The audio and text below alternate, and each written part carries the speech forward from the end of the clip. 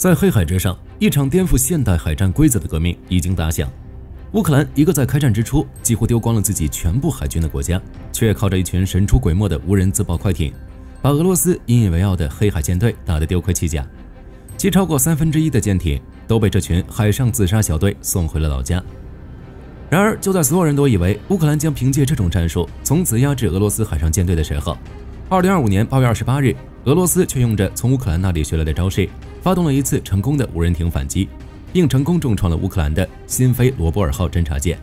如此看来，一场俄乌之间的无人快艇竞赛已然打响。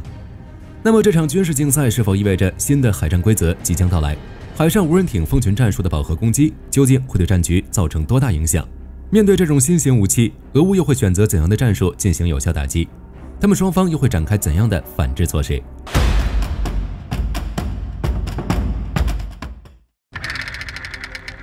要说这无人艇的幽灵，其实早在一百多年前就已经在一位科学巨匠的脑海中盘旋，他就是尼古拉·特斯拉。一八九八年，特斯拉向世界展示了他称之为电控自动机的发明，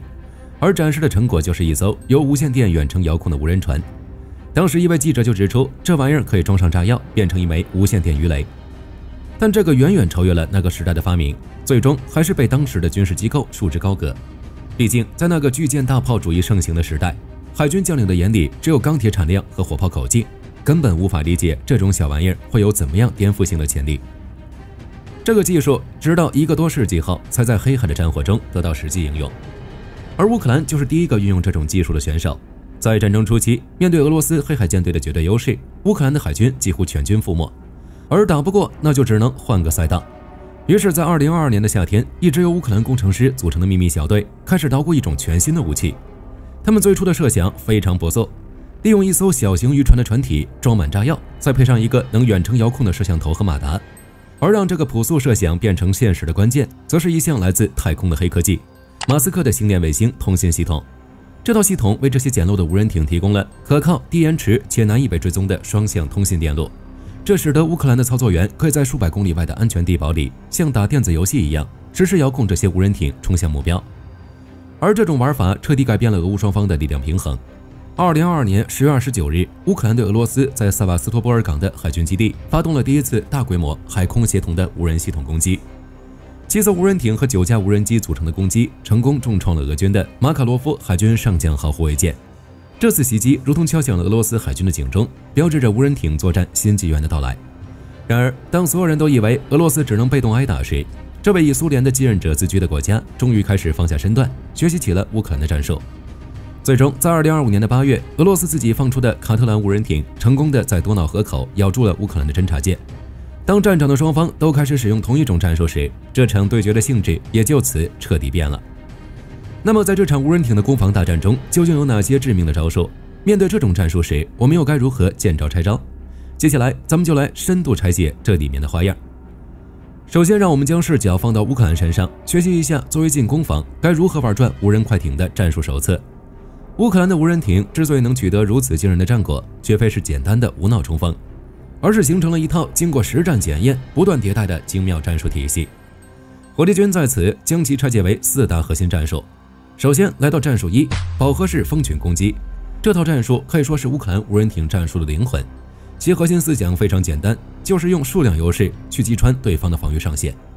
毕竟，一艘军舰的防御系统再先进，它能同时跟踪和打击的目标数量也是有限的。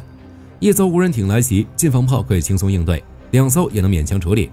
但如果从不同方向冲过来五艘、八艘，甚至更多呢？军舰的雷达和火炮就会瞬间陷入选择困难，火力通道被彻底占满，顾此失彼。这就是饱和攻击的威力。最经典的战地发生在二零二四年二月一日凌晨。当时，俄罗斯黑海舰队的伊万诺维茨号导弹艇正在克里米亚西部的多努茨拉夫湖附近巡逻，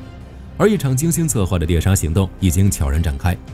乌克兰国防部情报总局派出了多达六艘马古拉 V 五型无人艇，这些无人艇借助夜色掩护，从不同方向悄然接近，随后同时发动了致命冲锋。从最后乌方公布的视频中，我们可以看到，伊万诺维茨号上的船员拼命用舰载武器还击。但面对蜂拥而至的无人艇，他们的火力显得苍白无力。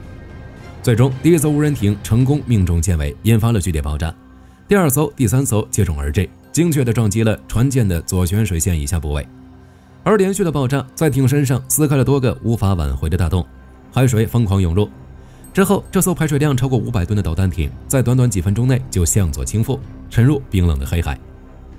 这场堪称教科书式的蜂群打击，可谓是完美的诠释了如何用低成本的无人艇去换掉一艘装备精良、价值不菲的现代化战舰的实战演练。此外，乌克兰的二号战术则是海空协同立体突防。如果之前说的蜂群战术是正面强攻，那么乌克兰的海空协同就是为这场强攻加上了精密的战术引导和掩护。曾几何时，乌克兰就意识到，单靠水面上的无人艇就像是缺少眼睛的狼群，效率不高。因此，他们经常会先派出空中无人机，扮演斥候和骚扰者的角色。早在2022年10月29日，对塞瓦斯托波尔港的那次开创性袭击中。乌克兰就派出了九架空中无人机与七艘水面无人艇配合作战。这些空中无人机首先承担了侦察和目标指示任务，他们在高空盘旋，将港内俄军舰艇的实时位置、动向等关键情报传输给后方的无人艇操作员，为水面上的杀手提供了精确的指导。其次，他们扮演了诱饵和骚扰者的角色。当攻击开始时，空中无人机率先对港口发动攻击，这种方式立刻就吸引了俄军大部分的防空火力和人员的注意力。而港口内的防空系统则开始疯狂的对空射击。此时，俄罗斯整个防御体系的焦点都被引向了空中。就在俄军手忙脚乱地应对空中威胁时，水面上的无人艇蜂群趁着这个黄金窗口期，从防御的死角悄然突入，直扑毫无防备的马卡洛夫海军上将号等舰艇，最终成功得手。这种战术就是典型的声东击西，用空中的威胁来掩护水面真正的杀招。它的战术特点极大地增加了防御方的决策难度和应对成本。从而迫使防御方必须同时应对来自天空和海面的双重威胁。除此以外，乌克兰还有第三招，那就是发挥游击战的特点，打了就跑，奇袭俄罗斯的软肋。要知道，无人艇不仅能打在开阔海域移动的军舰，更能执行长途奔袭任务，打击那些看似安全但防御相对薄弱的港口和战略设施。而乌克兰的无人艇就凭借其数百公里的航程，多次上演了千里走单骑的好戏。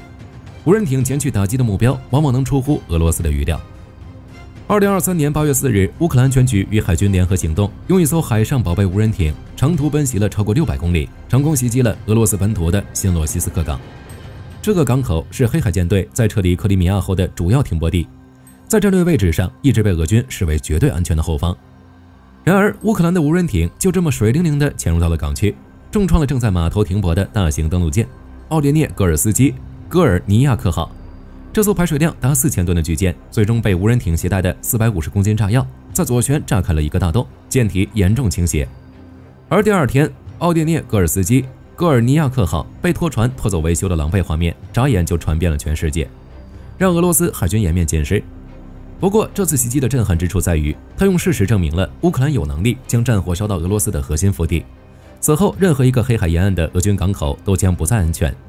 这种战略威慑的意义所造成的影响，甚至超越了击沉一艘军舰本身。更可怕的是，乌克兰的无人艇并没有停留在一次性的自杀式攻击阶段，而是在飞速的进化。例如，最新版本的海上宝贝无人艇就被拍到加装了多连装的火箭弹发射器。这些火箭弹的精度可能不高，但它们可以在无人艇冲锋的最后阶段，向目标舰艇的甲板进行覆盖式射击。其主要目的不是摧毁舰艇，而是压制甲板上的速射炮和机枪操作手，为无人艇自身的最终撞击扫清障碍。而乌克兰的马古拉 V 五最新改型，甚至被测试搭载了 R 七三空对空导弹，并成功击落了一架米八直升机。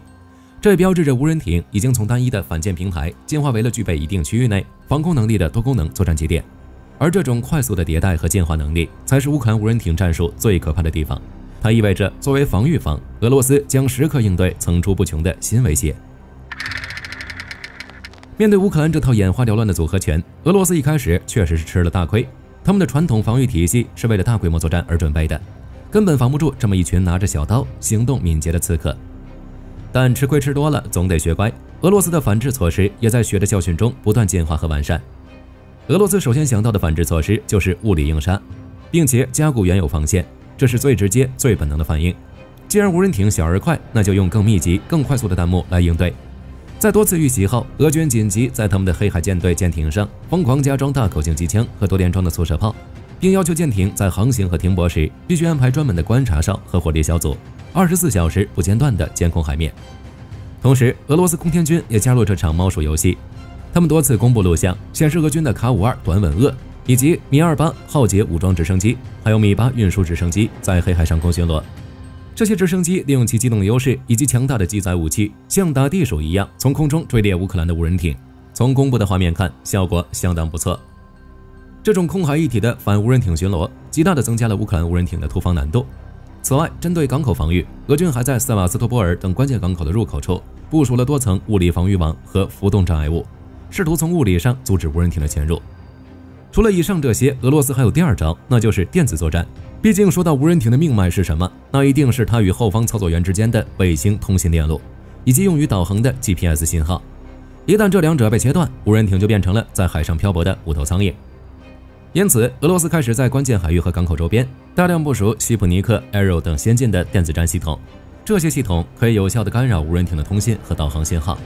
在舰艇周围制造一个电磁黑洞，迫使无人艇失去控制或偏离航向。而这场看不见的电磁对抗，至今仍在黑海上激烈进行。我们经常会看到乌克兰的无人艇在接近目标时，突然画面中断或失控打转。这就很可能是遭到了俄军强大的电子干扰，更有甚者，俄军还在尝试用网络攻击的手段去入侵无人艇的控制系统，试图直接策反或瘫痪这些来自敌方的武器。这场在网络空间中的较量虽然没有硝烟，但其激烈程度丝毫不亚于真刀真枪的对抗。不过，俄罗斯可不喜欢被动挨打，所以他们想到的第三招就是以牙还牙，对乌克兰进行物理威慑。毕竟，在尝试了各种防御手段后，俄罗斯觉得最好的防御就是进攻。既然我防不住你的无人艇，那我也造无人艇。你用马古拉打我的港口，我就用卡特兰打你的舰船。这下子，一场原本的非对称较量，硬生生被投入到了对称的消耗战。而俄罗斯的卡特兰无人艇就是这种思路下的直接产物。虽然早期型号在技术上，尤其是在通信技术方面，可能还不如乌克兰的成熟，但2025年8月，俄罗斯对新飞罗波尔号的成功袭击，已经证明了俄罗斯已经掌握了无人艇的攻击能力。这一局势转变可以说意义极其深远，它标志着黑海的无人艇战争，双方的比拼就是谁的无人艇能造得更快更多，谁的技术更先进，谁的战术更高明。不过，在海军战术改变的背后，所反映的正是一种海军力量的民用化。曾几何时，制海权是少数强国才能玩得起的游戏，动辄数十亿美元的驱逐舰不是谁都造得起的。但现在，一个无法负担一艘护卫舰的国家，却可以组成一支由成百上千艘低成本无人艇组成的舰队，去挑战一支庞大的传统海军。这种态势实际上从根本改变了海军的成本效益分析。火力军大胆设想一下，未来的战场上，这种无人化设备的攻防战，只可能会更加魔幻。在空中的侦察无人机像鹰眼一样锁定目标，水下的无人潜航器像幽灵一样切断退路，甚至在船底安装炸弹。而水面上的无人艇蜂群则从四面八方发动饱和式攻击，天海潜三位一体，将会形成一个事实上的猎杀网络。而处在这个网络中心的，可能就是一艘传统战舰。到那个时候，再先进的雷达、再密集的防空火力，可能都将无济于事。毕竟，这可以说是一种体系之间的对抗。而以无人机械为主的技术，正在以我们无法想象的速度改变如今的战争规则。好了，关于无人艇的故事，火力军就和大家聊到这里。如果你喜欢火力军本期视频，别忘了点赞关注，也欢迎在评论区分享你的看法，或者聊聊你认为未来的海战还将出现哪些颠覆性的武器，欢迎在评论区分享给大家。我们下期再见。好的，各位观众，今天给大家推荐一款 T 恤，不仅超有态度，还堪称性价比之王。首先，它超级轻，拿在手上轻飘飘，穿上身更是零负担，舒服到让你忘了它的存在。其次，面料剧透气。就像会呼吸一样，就算在外面跑一天，也能保持干爽，彻底告别黏腻感。最关键的是，价格真的让我惊掉下巴，仅需很少的钱，你就能拥有这份清爽。质量和舒适度绝对远超这个价位，闭着眼入都不亏，多买几件换着穿也毫无压力。链接已经给你们上了，这种宝藏 T 恤手慢无，赶紧去抢。